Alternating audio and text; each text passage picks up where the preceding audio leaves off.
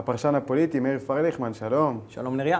אנחנו משתדלים לדבר פה שבוע-שבוע, אנחנו רואים שהממשלה אבל מצליחה לשרוד שבוע ועוד שבוע, עוד מעט ייגמר כנס הקיץ. אתה צודק, והאחראים או למחדל או לדבר הטוב הזה בראות עיניהם, זה דווקא אנשי הימין בקואליציה, אם זה אנשי אה, תקווה חדשה, ניר אורבך וכולי.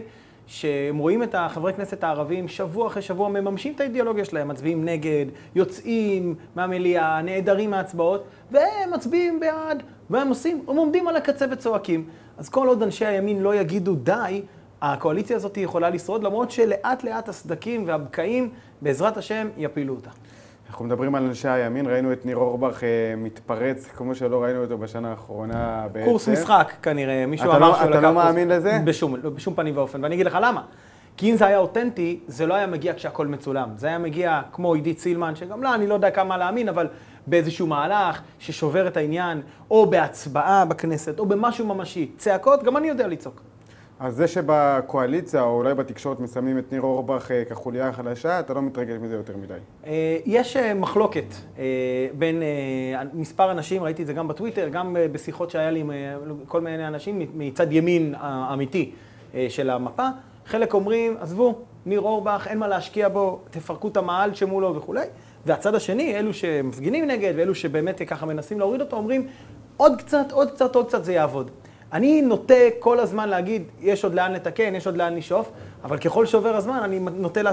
מתחיל לחשוב שהחבר'ה שאומרים אין מה להשקיע בו צודקים, כי בסופו של דבר אנחנו רואים עוד שבוע ועוד שבוע, והוא מושפל ומושפל ולא יורד מזה. לא יודע להגיד. דיברת על עידית סילמן, אה, אפשר להגיד שהיא הפתיעה את כולם עם המהלך שלה, אבל כולם, אה, גם בקואליציה, חשבו שיפעילו עליה אה, כל מיני לחצים. של הפרשה והיא תחזור, היה אז ניסיון של כל מיני רבנים אה, ליברליים בציונות הדתית ללחוץ עליה לחזור לקואליציה, גם שם חשבו שזה יעזור. אנחנו רואים שהיא למדה לשחק יפה, עידית סילמן. יפה, אמרת, אמרת את המילה לשחק. כי בסוף בחוק תקנות יו"ש היא נעדרה מהצבעה, בחוכמה מבחינתה, כי היא לא רוצה להיות... אבל אחרי שהיא גרמה לחברי כנסת הערבים להבין שהם יכולים להפסיד. גם, נכון, והיא הבינה שיש פה רוב, אה, רוב נגד, אז זה לא משנה.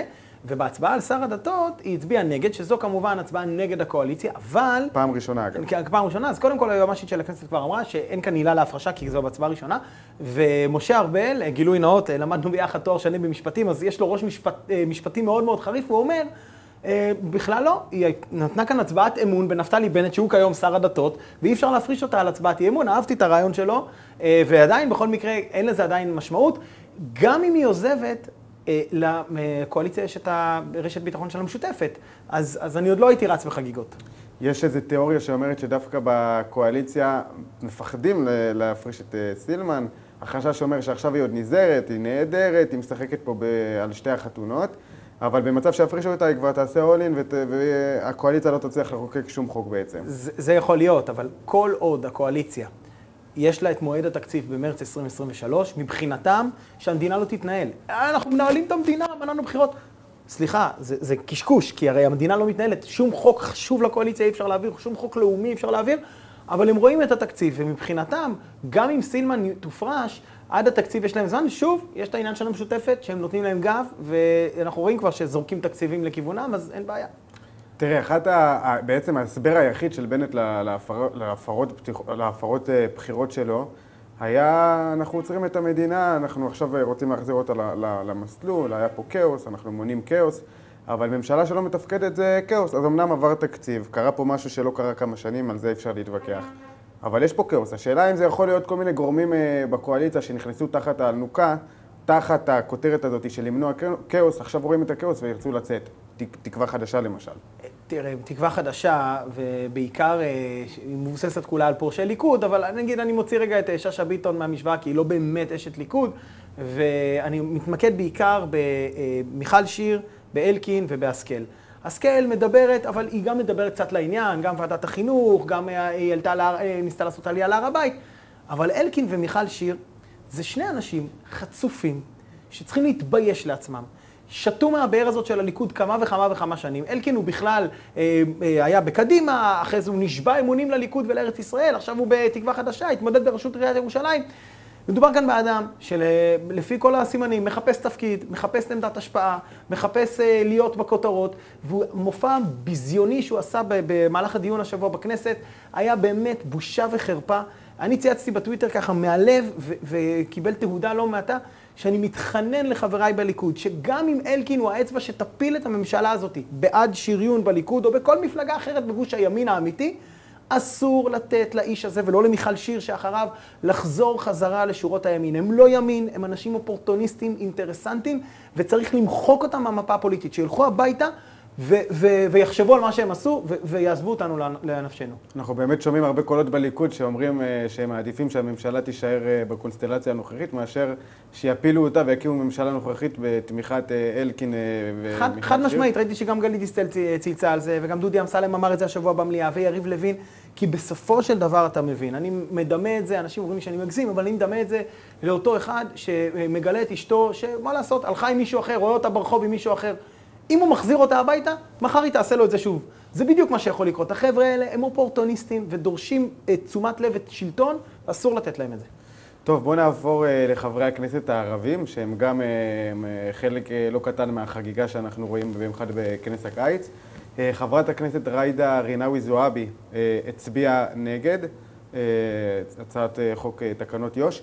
מה בעצם עומד מאחורי ההצבעה שלה? אנחנו ראינו שהיא uh, מדברת על זה שהיא סיכמה עם, uh, עם השר לפיד שהיא תצביע נגד כל דבר שהוא נוגד את העקרונות שלה. בוא נגיד ככה, בבחירה למי להאמין, לג'ידא רינאוי זועבי או ללפיד, אני אוטומטית בוחר בזועבי, מסיבה אחת מאוד פשוטה.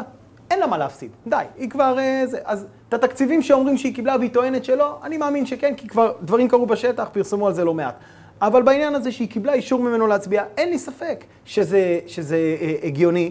כי בסופו של דבר לפיד רוצה לקדם מדיניות שמאל. גם מאזן גנאים, ודיברנו על זה כאן לא מזמן, יש לו את רשות עיריית סכנין, אה, בדרך לכאן קראתי שמנסור עבאס כבר מדבר איתו, אנחנו ניתן לך את סכנין, אז הוא אומר לו, לא, הבוחרים שלי. בסופו של דבר מה שמעניין אותו זה נובמבר 2023, הבחירות לרשות, לרשויות המקומיות. הוא רוצה לחזור להיות ראש עיריית סכנין מעמדת כוח, להיות הגיבור, ועד אז הוא יאמלל את חייה של הקואליציה, אני מקווה שהוא ייפול הרבה קודם. יכול להיות שהחוק שרוצים לנסות להעביר אותו שוב בשבוע הבא, או עוד שבועיים, יכול לעבור באיזושהי קונסטלציה? אני לא מאמין שאחרי הבאמת פארסה הזאת של הקואליציה שראינו, מישהו מהמצביעים האלו יחזור בו.